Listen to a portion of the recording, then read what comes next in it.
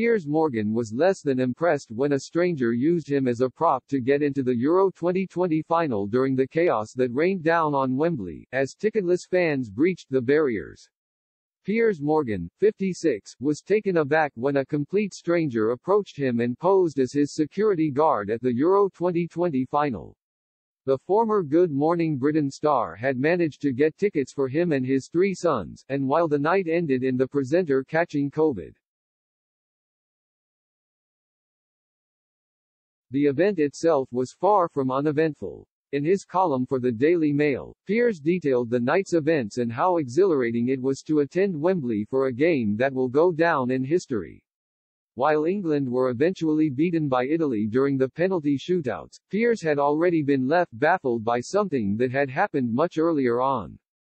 When we arrived at the first security barrier, it was complete mayhem as scores of drunken, aggressive, ticketless yobs tried to charge through. He penned, detailing the chaos that ascended on the football stadium, which was documented across social media. It was not a situation where having a recognizable face was a massive bonus. A guy suddenly appeared at my side and said, need some help, Piers.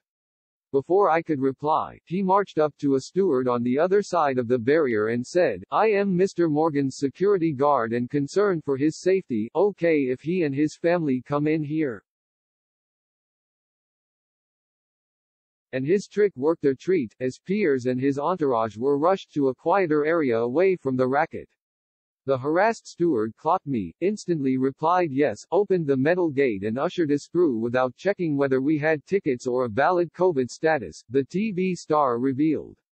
As he did so, my bodyguard bustled through too with his mate, their arms protectively around us.